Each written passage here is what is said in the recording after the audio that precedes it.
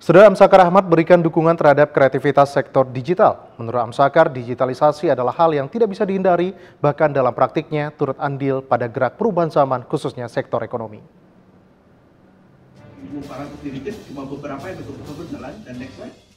Wakil Wali Kota Batam Amsakar Ahmad memberikan dukungan terhadap sektor digital, salah satunya dengan mendorong tumbuh kembangnya startup digital. Hal ini disampaikan Sakar Ahmad saat menghadiri undangan kegiatan Demo Day Gerakan Nasional 1000 Startup Digital di Auditorium Gedung Technopreneur Politeknik Negeri Batam. Menurut Amsakar, digitalisasi adalah hal yang tak bisa dihindari bahkan dalam praktiknya dan turut andil pada gerak perubahan zaman, khususnya sektor ekonomi. Ekonomi digital merupakan sektor yang potensial dalam mendukung bonus demografi pada kisaran tahun 2030 hingga 2035 serta visi Indonesia Emas 2045.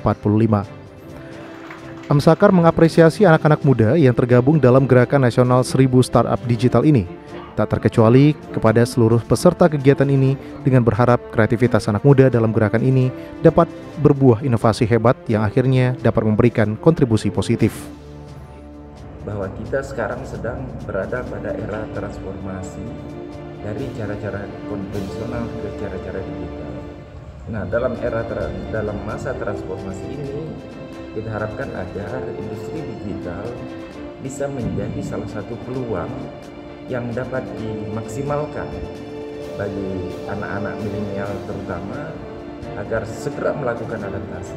Itu yang kedua. Yang ketiga, kita juga uh, memandang bahwa uh, potensi bonus demografis yang dimiliki Indonesia dan Indonesia emas 2045 memang harus ada ikhtiar kolektif dari seluruh anak bangsa agar betul-betul melakukan penyesuaian dengan perkembangan teknologi informasi agar industri digital tidak hanya itu, Amsakar Ahmad juga berharap anak-anak muda terus meningkatkan kompetensi sehingga menjadi modal yang luar biasa dan menjadi pemenang dalam kompetisi global.